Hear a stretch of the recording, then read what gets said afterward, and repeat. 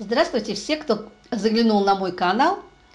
Я вам хочу показать ворона, которая живет у моего брата.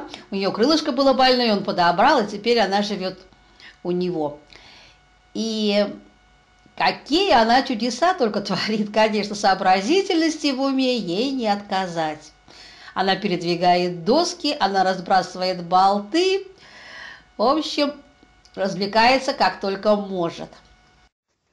Молодец. Вот так, да, вот так. Вот так. Как ты водичку выливаешь-то?